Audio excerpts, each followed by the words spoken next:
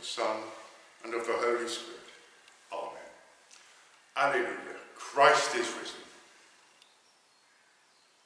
The Lord be with you. Christ died to sin once for all, and now he lives to God.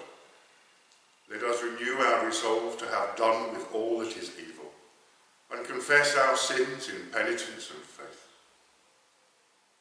Almighty God, our Heavenly Father, we have sinned against you and against our neighbour, in thoughts and word and deed, through negligence, through weakness, through our own deliberate fault. We are truly sorry and repent of all our sins. For the sake of your Son, Jesus Christ, who died for us, forgive us all that is past, and grant that we may serve you in newness of life, to the glory of your name. Amen. Mighty God, who forgives all who truly repent, have mercy upon you, pardon and deliver you from all your sins, confirm and strengthen you in all goodness, and keep you in life eternal, through Jesus Christ our Lord.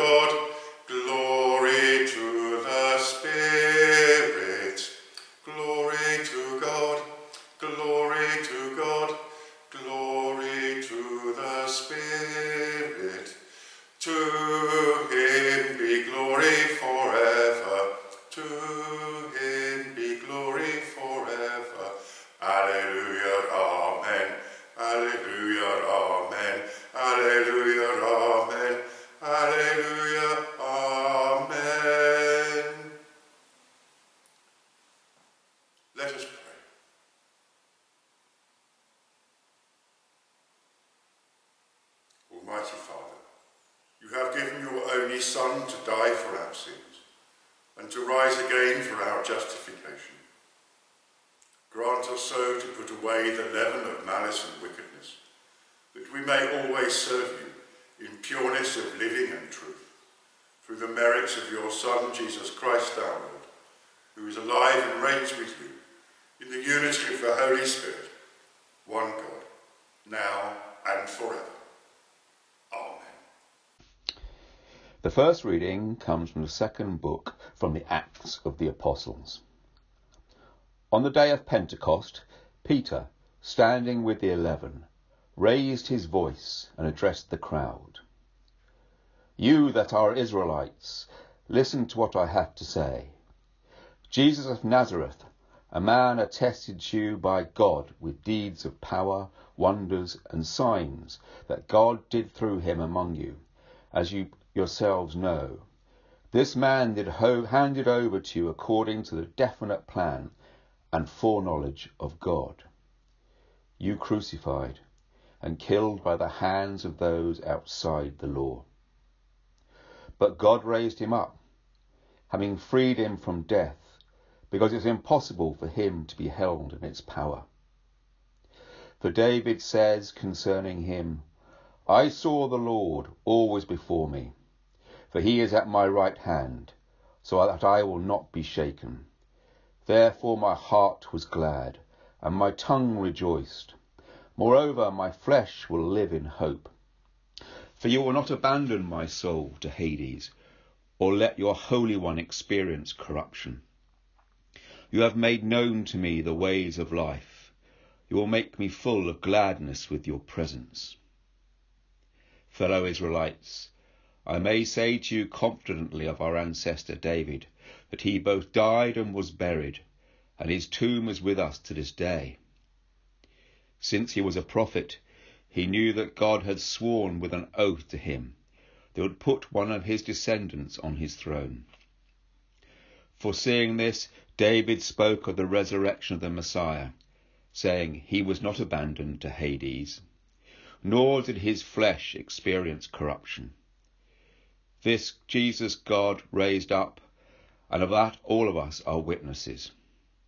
This is the word of the Lord. Alleluia, alleluia. Jesus said, I am the resurrection and the life. Those who believe in me, even though they die, will live. And everyone who lives and believes in me will never die. Hear the gospel of our Lord Jesus Christ, according to John. When it was evening on that day, the first day of the week, and the doors of the house where the disciples had met were locked for fear of the Jews. Jesus came and stood among them and said, Peace be with you. After he said this, he showed them his hands and his side. Then the disciples rejoiced when they saw the Lord. Jesus said to them again, Peace be with you. As the Father has sent me, so I send you. When he had said this, he breathed on them and said to them, Receive the Holy Spirit. If you forgive the sins of any, they are forgiven. If you retain the sins of any, they are retained. But Thomas, who was called the twin, one of the twelve, was not with them when Jesus came. So the other disciples told him, We have seen the Lord. But he said to them, Unless I see the mark of the nails in his hands, and put my finger in the mark of the nails, and my hand in his side, I will not believe. A week later, his disciples were again in the house, and Thomas was with them. Although the doors were shut, Jesus came and stood among them and said, Peace be with you. Then he said to Thomas, Put your finger here and see my hands. Reach out your hand and put it in my side. Do not doubt, but believe. Thomas answered him, My Lord and my God. Jesus said to him, Have you believed because you have seen me? Blessed are those who have not seen and yet have come to believe. Now Jesus did many other signs in the presence of his disciples, which are not written in this book, but these are written so that you may come to believe that Jesus is the Messiah, the Son of God, and that through believing you may have life in his name. This is the gospel of the Lord.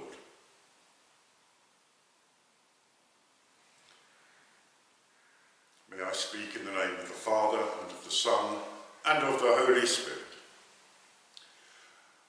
How much like the disciples are we? I think we have a lot more in common than we think. This Gospel reading finds the disciples in lockdown, just like us. The doors were locked and they were not going out. In their case, it was for fear of the Jews rather than the fear of coronavirus. In the case of the disciples, the fear of death for being associated with Jesus was real. In our case, the real prospect of catching a deadly disease that could, cost, that could kill us is what's keeping us in lockdown. But in spite of their lockdown, Jesus came among them. And his greeting was, Peace be with you. The first thing that Jesus said to his disciples, the ones who were in fear of their lives, was, Peace be with you. My personal experience of lockdown is that I have more time to be at peace with Christ. I have time to say morning prayer, and it brings me peace. I have time to pray for everyone, and it brings me peace. I have time to connect with more people of the parish via email and telephone calls, and it brings me peace. And I actually have time to answer the telephone, and strangely enough, that also brings me peace. I've also found the peace and the time to do jigsaw puzzles. I found the time to research the lives of the airmen buried in the churchyards. I found time to drink more cups of tea than I thought possible. And all of these things bring me a certain kind of peace. I realise that not all of us have that same peace. I know that there is loneliness at this time.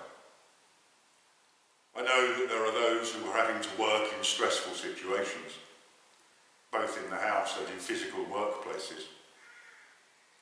I know that there are those that can't work who want to. That may be where you find your peace.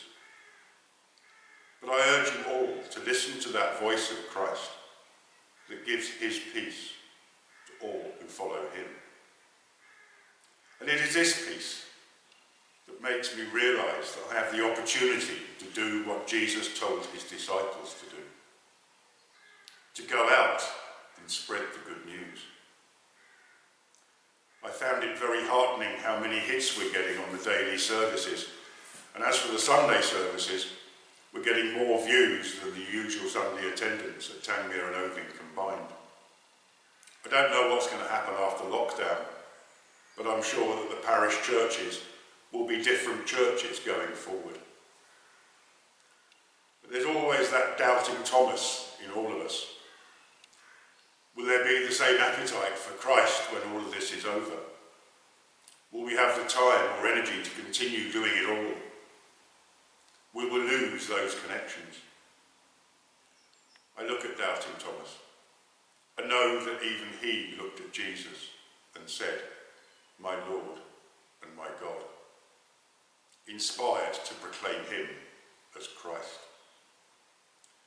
So I am prepared to be inspired by the Holy Spirit to go and proclaim the good news of the risen Christ.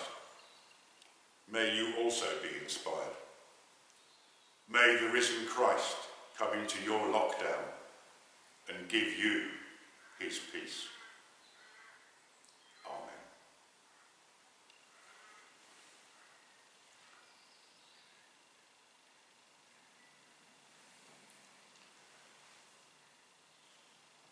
So as we come together in this virtual church, let us affirm our faith in one God, Father, Son and Holy Spirit. We believe in one God, the Father, the Almighty, maker of heaven and earth, of all that is, seen and unseen. We believe in one Lord Jesus Christ, the only Son of God, eternally begotten of the Father, God from God, light from light, true God from true God, begotten, not made, of one being with the Father. Through him all things were made. For us and for our salvation, he came down from heaven, was incarnate from the Holy Spirit in the Virgin Mary, and was made man. For our sake he was crucified under Pontius Pilate. He suffered death and was buried. On the third day he rose again in accordance with the Scriptures. He ascended into heaven and is seated at the right hand of the Father. He will come again in glory to judge the living and the dead, and his kingdom will have no end. We believe in the Holy Spirit, the Lord, the giver of life, who proceeds from the Father and the Son, who, with the Father and the Son, is worshipped and glorified, who has spoken through the prophets. We believe in one holy, Catholic and Apostolic Church. We acknowledge one baptism for the forgiveness of sins. We look for the resurrection of the dead and the life of the world to come. Amen.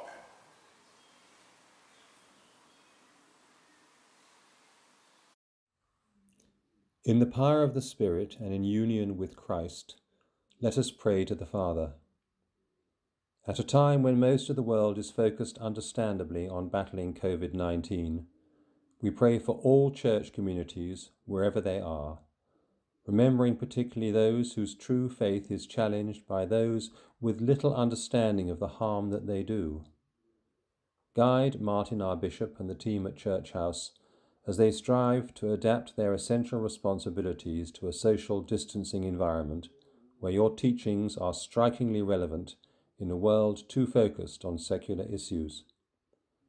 We bring your particular attention to the brilliant virtual service that Father Trevor is providing us all. Lord, in your mercy, hear our prayer. Bless and guide our gracious Sovereign Lady Queen Elizabeth whose public messages are a comfort and example to us all. Guide all her public servants at this difficult time and open the ears and hearts of that misguided minority who take no heed of the clear advice to protect society. Lord, in your mercy, hear our prayer. Dear Lord, we bring to your gracious attention the men and women of health, social, and other public services, and armed forces who strive directly or indirectly for our benefit and security. Keep them safe and provide them support and succour during their daily lives of service to our nation. Lord, in your mercy, hear our prayer. Let us pray for the bullied and beleaguered, the helpless and the homeless, the lonely and the unloved Comfort, guide, and heal all those who suffer in mind, body, or spirit.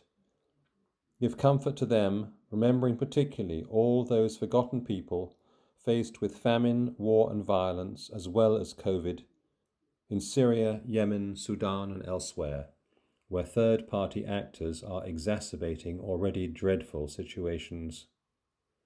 Lord, in your mercy, hear our prayer. Lord God, in a moment of silence, we offer our personal prayers for the resolution of any matter that troubles us, private or public.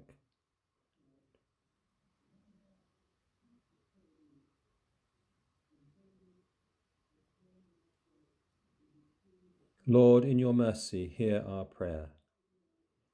We pray for those who are ill or recovering from whatever affliction, and for all who have died recently that we know, as well as those who died at this time in years gone by. Let light perpetual shine on them, and may they rest in peace and rise in glory. Lord, in your mercy, hear our prayer. Finally, we ask for your divine blessing on the people of both parishes of St Andrew and those at home in our villages. Keep them and their families and friends safe, both during this epidemic and during the months and years that follow it rejoicing in the fellowship, fellowship of St. Andrew, St. Richard, and all the saints, we commend ourselves to your unfailing love as we say together, Merciful Father, accept these prayers for the sake of your Son, our Saviour, Jesus Christ. Amen.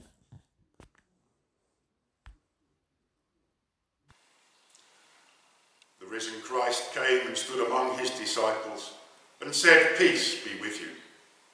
Then they were glad when they saw the Lord. Alleluia. The peace of the Lord be always with you.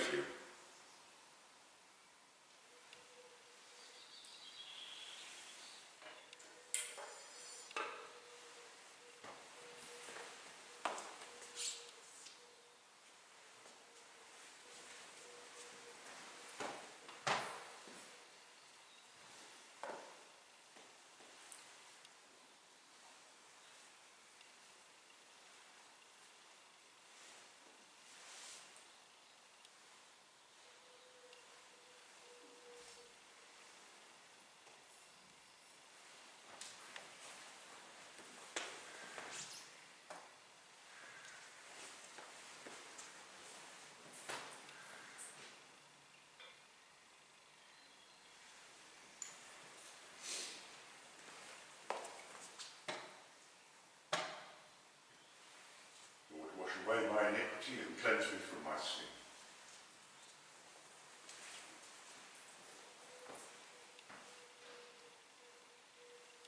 The Lord be with you. Lift up your hearts. Let us give thanks to the Lord our God. It is indeed right and our duty and our joy, always and everywhere to give you thanks, Almighty and Eternal Father.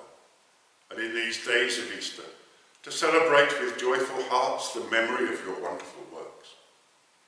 For by the mystery of his passion, Jesus Christ, your risen Son, has conquered the powers of death and hell, and restored in men and women the image of your glory. He has placed them once more in paradise, and opened to them the gate of eternal life. And so, in the joy of his Passover, earth and heaven resound with gladness, while angels and archangels and all the powers of creation sing forever your hymn of glory. Holy, holy, holy Lord, God of power and might. Heaven and earth are full of your glory. Hosanna in the highest. Blessed is he who comes in the name of the Lord. Hosanna in the highest. Lord, you are holy indeed, the source of all holiness. Grant that by the power of the Holy Spirit and according to your holy will, these gifts of bread and wine may be to us the body and blood of our Lord Jesus Christ, who in the same night that he was betrayed, took bread and gave you thanks. He broke it and gave it to his disciples, saying, Take, eat. This is my body which is given for you. Do this in remembrance of me.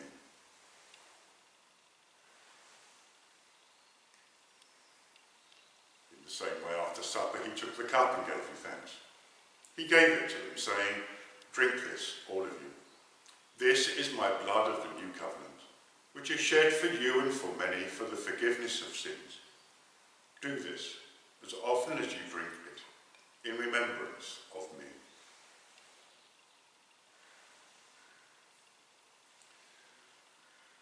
Great is the mystery of faith.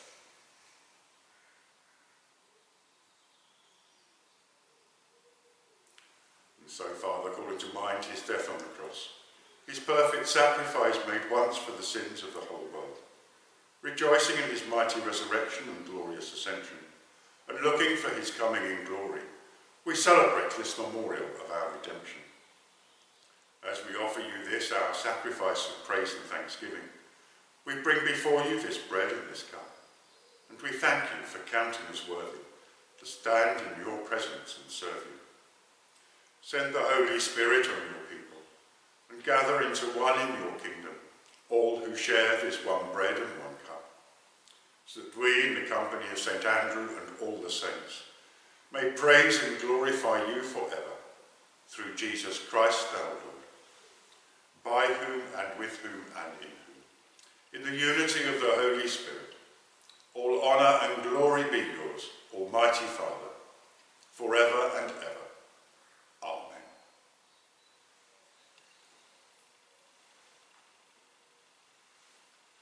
Let us pray with confidence, as our Saviour has taught us. Our Father, who art in heaven, hallowed be thy name. Thy kingdom come, thy will be done, on earth as it is in heaven. Give us this day our daily bread, and forgive us our trespasses, as we forgive those who trespass against us. And lead us not into temptation, but deliver us from evil. For thine is the kingdom, the power and the glory, forever and ever.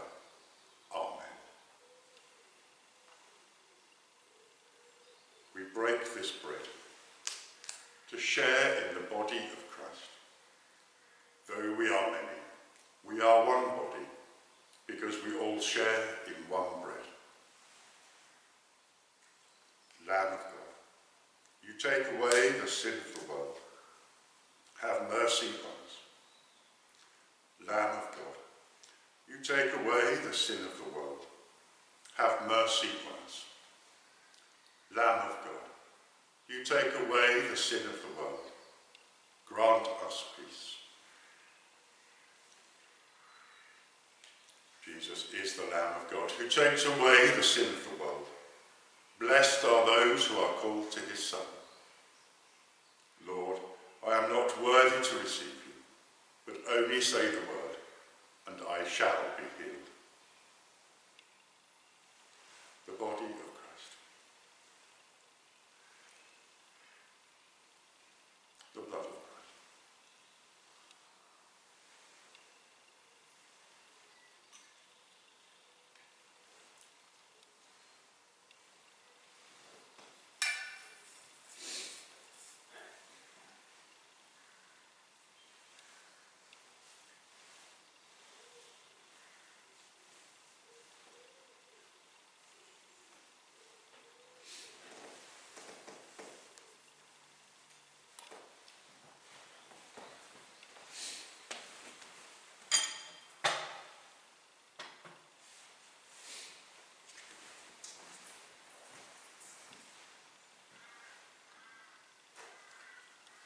Let us pray. Lord God our Father, through our Saviour Jesus Christ, you have assured your children of eternal life, and in baptism have made us one with him. Deliver us from the death of sin, and raise us to new life in your love, in the fellowship of the Holy Spirit, by the grace of our Lord Jesus Christ. Amen. Almighty God, we thank you for feeding us with the body and blood of your Son, Jesus Christ. Through him we offer you our souls and bodies to be a living sacrifice. Send us out in the power of your Spirit to live and work to your praise and glory. Amen. God, who through the resurrection of our Lord Jesus Christ has given us the victory, give you joy and peace in your faith and the blessing of God Almighty, the Father, the Son, and the Holy Spirit be among you and remain with you always. Amen. Alleluia, Christ is risen. Go in peace to love and serve the Lord.